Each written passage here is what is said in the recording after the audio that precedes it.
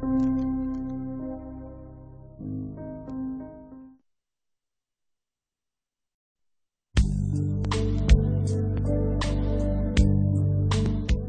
to the chapter Force. Now, let us perform an activity to observe motion of the objects on an inclined plane. Click each tab to know more.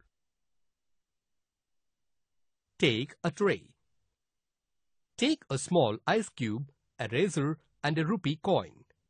Place them on a line at one end of the tray. Now slowly lift this end of the tray. Observe their motions.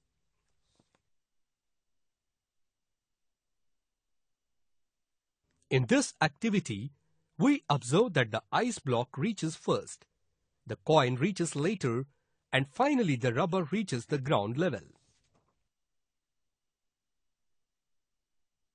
Finally, we learned that the friction is the resistance to the movement of a body over the surface of another body. We also learned that the direction of friction is always opposite to the direction of motion relative to the surface. The force or friction which opposes relative motion of surfaces in contact.